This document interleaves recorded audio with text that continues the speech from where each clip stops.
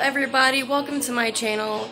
It's your girl KG Gaming guys, back with another Wizard 101 membership and crown giveaway video. Um, I did some pack giveaways the other night and um, not really much people came and I found out some news about my friend that I used to play Wizard 101 with passed away and it's been hurting me inside a lot because I don't like hearing about people hurting themselves or killing themselves, you know, but it's a real thing out there, you know, depression, suicide, suicidal thoughts. It's really like a big thing. Like, it's really sad. I mean, I honestly go through a lot of that stuff myself. Anyways, let's get back into it, guys. Um, so, I created a posting if you guys wanted to do the Wizard 101 membership and crown giveaway today or pack giveaways, and it was both like at 50%.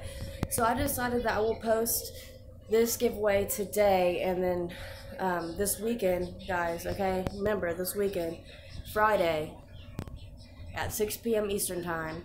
Check out my social medias. I'll keep you updated on my Discord and stuff. Um, anyways, let's get into it. Um, all you guys have to do is like, comment, subscribe if you want crowns or membership and I'm actually gonna try to announce the winner like more earlier this time, so that way you guys don't have to wait as long.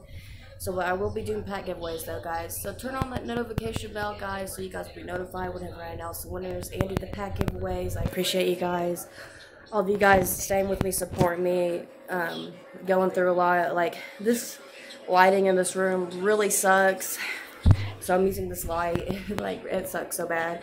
But yeah, guys, just leave a like drop a subscribe and comment if you want crowns or membership. And within a week I will announce them with a video. So keep it locked guys. I'll try to do some more Wizard 101 I know you guys are kind of upset with me because I haven't but yeah I did like a pack giveaway the other day and um I know it took a minute to do it but yeah something happened. I found out about my friend and stuff and um, I'm doing a little bit better I mean I like had to get rid of the stream. I just got rid of it because I was like crying and stuff, and I don't know. It's just kind of embarrassing for me.